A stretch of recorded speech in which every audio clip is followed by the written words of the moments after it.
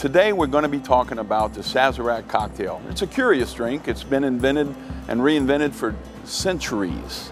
And today, to show you how to make a classic Sazerac cocktail, is Nick Stevenson, who's from New Orleans.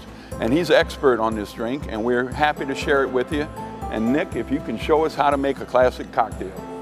We're going to start with our highball glass, and we're going to chill it. A little ice, some water, sugar cube, Peychaud's bitters. Muddle our sugar cube really well. And we're going to use our Sazerac rye, two ounces. Uh, put a little ice in there. We're going to spin it with our bar spoon. And we're going to dump out our ice from our glass.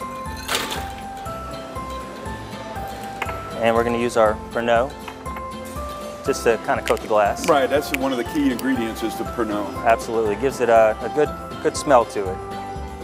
And then we're going to strain our chilled rye whiskey into our glass. And we're going to take a lemon,